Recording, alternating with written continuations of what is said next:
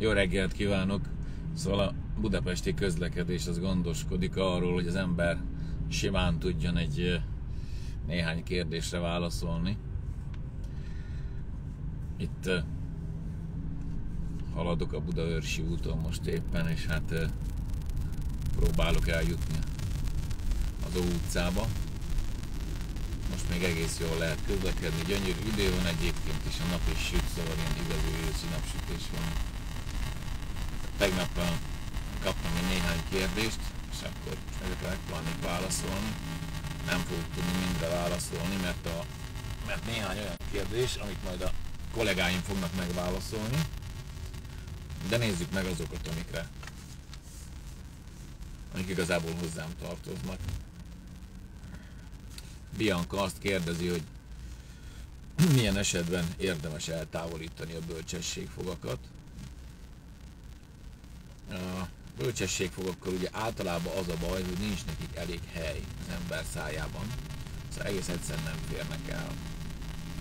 Úgyhogy a bölcsességfogak eltávolítása az esetek túlnyomó többségében az abszolút indokolt, és el is kell őket távolítani.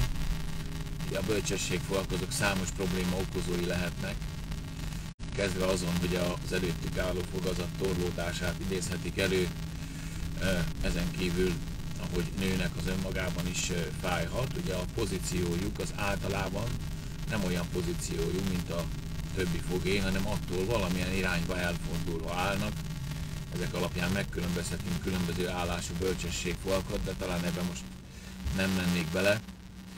Amikor törik át az int, akkor ott kialakul egy tasak, tehát az önmagában is fáj, hogy áttörik az íny, de a kialakult tasakban meg mindenféle gyulladások tudnak kialakulni.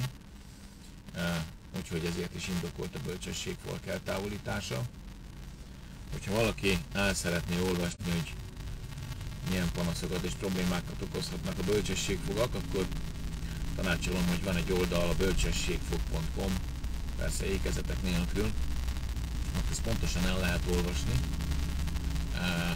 valamint az én blogomban is, a lászlófi.com-on is van a bölcsességfogakról jó néhány írás. Szóval a bölcsességfogakat így a kérdésre válaszolva, ami úgy szólt, hogy milyen esetben érdemes eltávolítani a bölcsességfogakat, az esetek túlnyomó többségében ezeket el kell távolítani.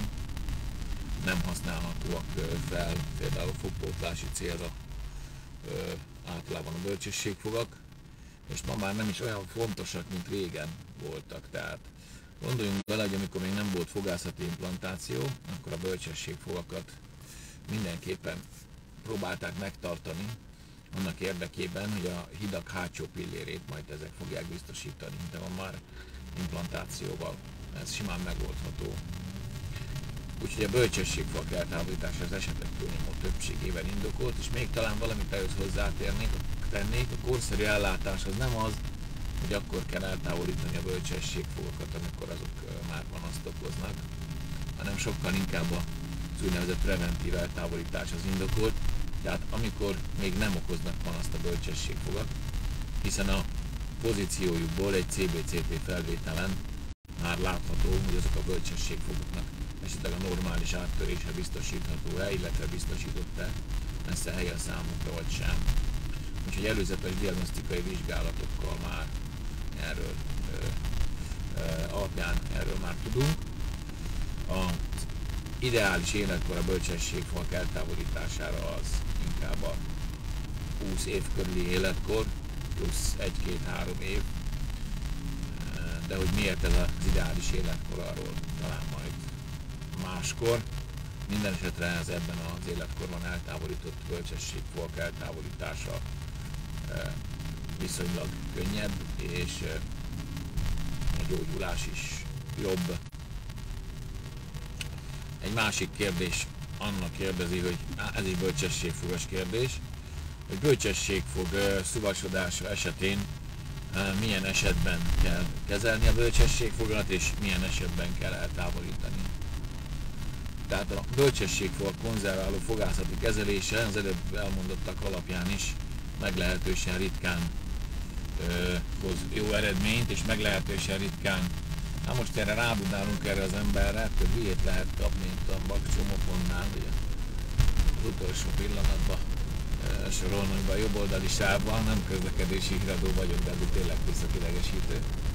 Na szóval, tehát akkor vissza, a bölcsességfal konzerváló fogászati kezelése az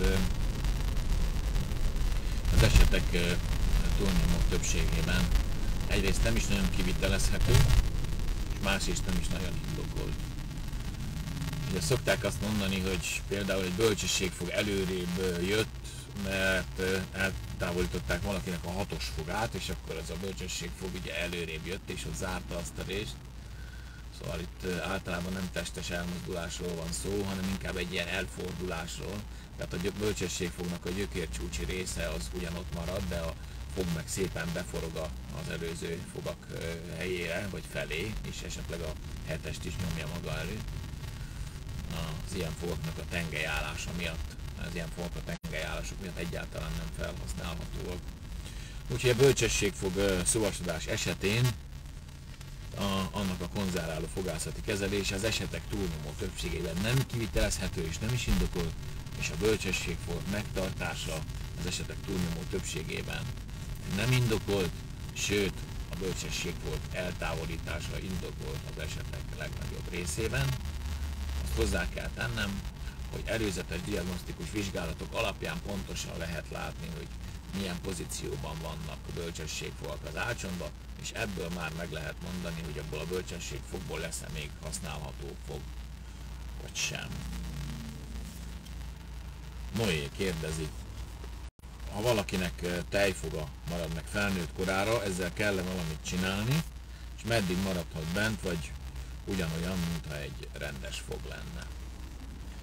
Ugye a legjobb ilyenkor, ha valami esetet képzelünk el, tehát eh, ezeket ugye perzisztáló tejfogaknak hívjuk, mondjuk képzeljünk el egy alsó ötös tejfogat, ezek miért maradnak ott bent, ezek a tejfogak, miért maradnak meg vajon a fogak áttörése után is. A legtöbb esetben azért, hogy két oka lehet ennek, hogy egy tejfog megmarad. Azért, mert a, oda a helyére kinővő fog, ami majd kijönne oda, tehát egy maradó fog, az egyszer nem tud kinőni, Miért nem tud kinőni? Mert beleakad valamivel, tehát olyan pozícióban van, hogy nem tud kijönni.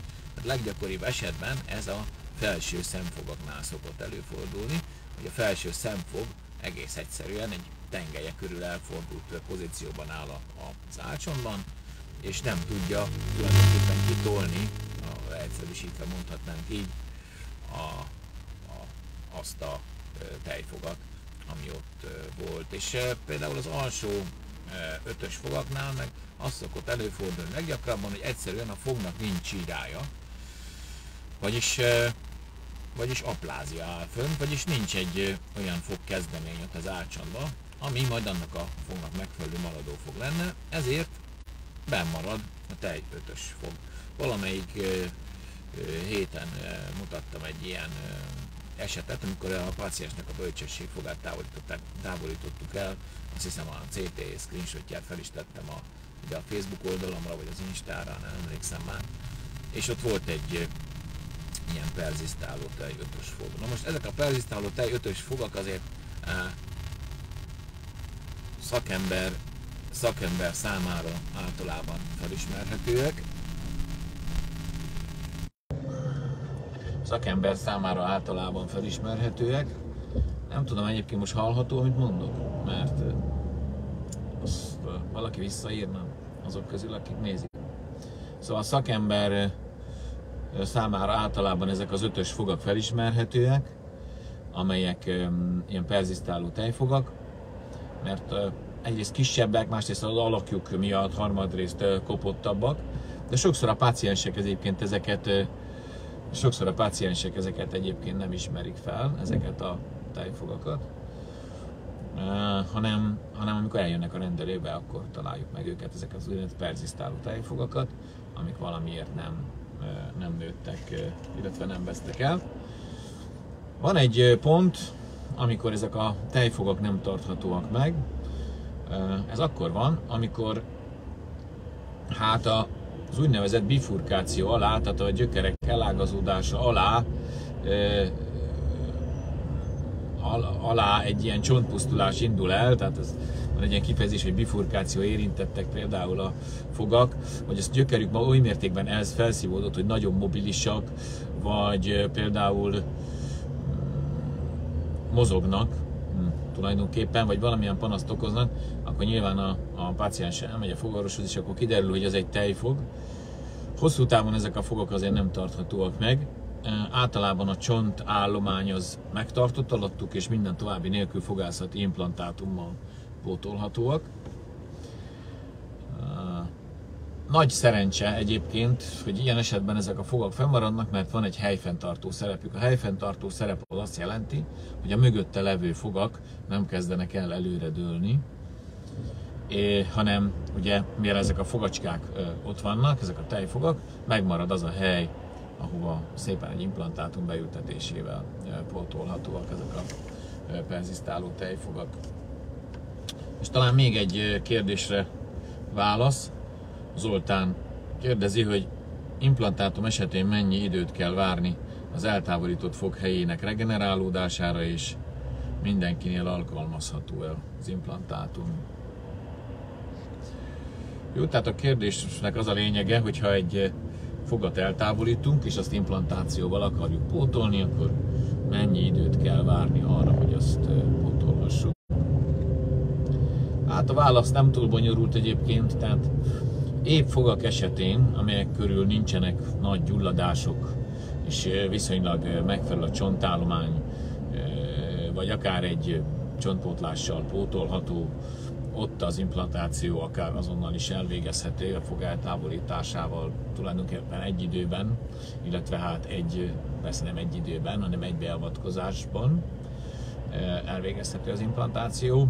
Viszont azoknál a fogaknál, ahol nagyon nagy mérvű a csontpusztulás, vagy komoly gyulladás volt a fog körül, tehát egy nagyobb kiterjedtebb gyulladás volt a fog körül, ott ugye számolhatunk azzal, hogy a csontállomány tele van esetleg kórokozóval, vagy olyan, olyan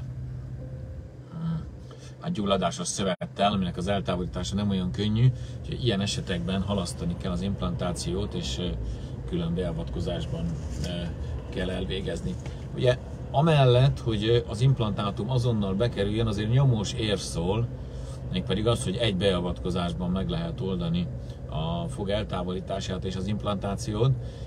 Ez egy, ez egy nyomós érv, mert nem tesszük ki kétszeri műtéti megterhelésnek a beteget. Szóval az implantáció, azért azt akárhogy nézzük, hát egyrészt természetesen egy invazív beavatkozás, és természetesen egy műtéti beavatkozás. Tehát az a kommunikáció, hogy az implantátum nem, implantáció nem műtét, ugye, az nem megfelelő kommunikáció, mert az igenis egy műtét, tehát ott a csontba kell lesz implantátumot behelyezni. Az más kérdés, hogy az implantáció az nem fáj. Tehát aki fájdalomban tud dolgozni, azt nem is értem, hogy, hogy feltételezi egyébként valaki az implantáció fájhat, hiszen hiszen ki az, aki egy, egy fájdalmat okozva tud dolgozni, tehát ez egy nagy precizitást, odafigyelést, pontosságot igénylő munka, ami alapvetően pontos, hogy a páciens ne izegjen, mozogjon. Hát az a lényeg, hogy, a, hogy az implantációt azt marha pontosan kell elvégezni, tehát ott mérni kell, átmérőt mérni kell, a hosszat mérni kell, stb. stb. Tehát az, azt nem lehet egy izgő mozgó páciensen elvégezni, hogy teljesen fájdalommentes közegben lehet csak implantálni, ez teljesen természetes. Szóval nem is emlékszem, hogy honnan jutottunk el ide, de azt akartam még mondani, hogy az egy fontos szempont, hogy a páciens egyszeri műtéti megterhelésnek tesz, tegyük ki. Tehát amikor csak lehet, akkor a fog eltávolításával egy időben érdemes elvégezni az implantációt, nem pedig egy külön beavatkozás során. Úgyhogy, úgyhogy a kérdés, amely Zoltán kérdezett, hogy implantátum esetén mennyi időt kell várni az eltávolított fog helyének regenerálódására. Hát az a válasz, hogy a lehető legkevesebb időt kell várni. Egyébként még gondoljuk meg azt a szempontot is, hogy amikor egy fogat eltávolítunk, akkor ott van egy nagyon jó csontfelszín, amiben az implantátumot remekül be lehet ültetni. Ugye van egy másik aspektusa is a dolognak, hogy a fognak egyébként van egy bizonyos átmérője, és nyilvánvaló, hogy annál az átmérőnél azzal megegyező, vagy inkább annál az átmérőnél nagyobb átmérőjű fogat lehet beültetni, hiszen lesz ott egy, egy defektusunk, tehát lesz ott egy luk, amiben az implantátumot be kell tekerjük.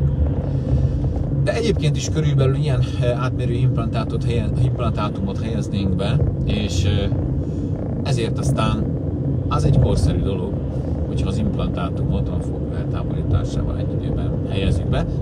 Mondom, az egy fontos szempont, ez fog körül gyulladás ilyen esetben ne legyen.